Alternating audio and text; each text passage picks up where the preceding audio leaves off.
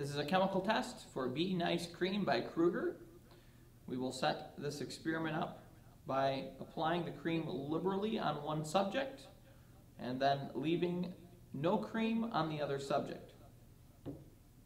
They will then submerge their arms into a beehive for three minutes. After that, we will count how many bites each of them receive, and we will compare the differences. This is a classic example of randomized comparative experiment. Bee Nice Cream by Kruger, experiment one. Grace will receive the ointment. And Alex will not have the ointment. Right, they're going to submerge their hands into this infested pile of bees see which one has less bites. All right, guys, for three minutes, three minutes we'll hold our arms in there. You ready? Okay, and let's put them in, submerge them.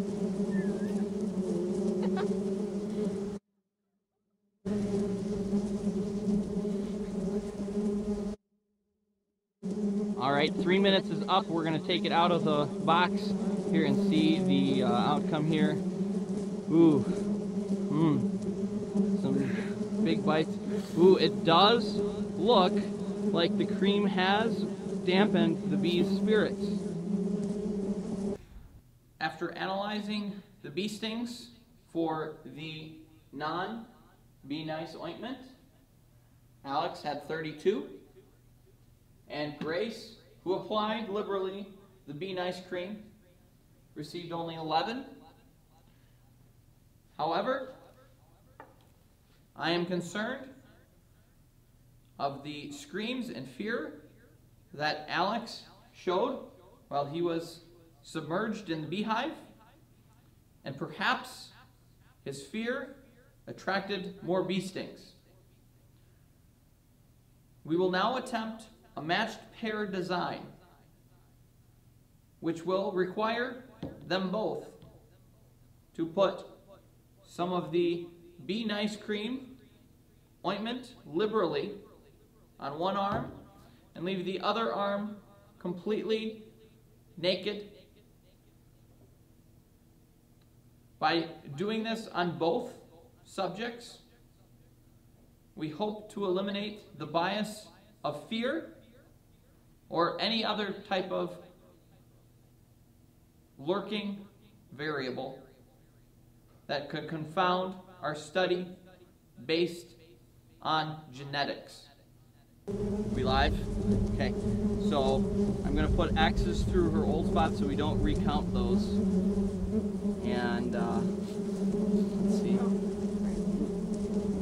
Okay. All right. Okay. And then we apply the ointment to only one arm this time. All right. Okay. Kruger, you're next. All right, Bee Nice Cream by Kruger, test two. Okay, you ready?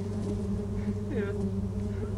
Three, two, one.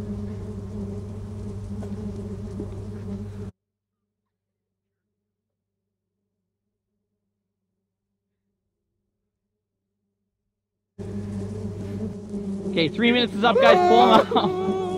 All right, we're gonna we're, we're gonna count the bee stings. All right, here uh, this is the non-ointment arm, and I have one, new, two, three, four, five, six, seven, eight, nine, ten, eleven, eleven new bee stings on the non-ointment, and one, two, three, four, five, six, six on the other, 11 to six. It seems like the Kruger ointment has worked. All right, let's just check this arm over here. I got one, two, three, four, five, six, seven, eight, nine, 10, 11, 12, 13 new bites on the non-ointment.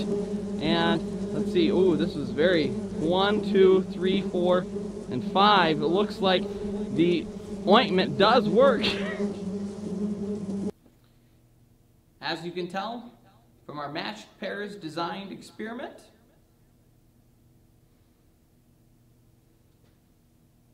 as you can tell from our matched pairs experiment, the Bee Nice Cream by Kruger has a drastic improvement upon bee stings and is on sale this week.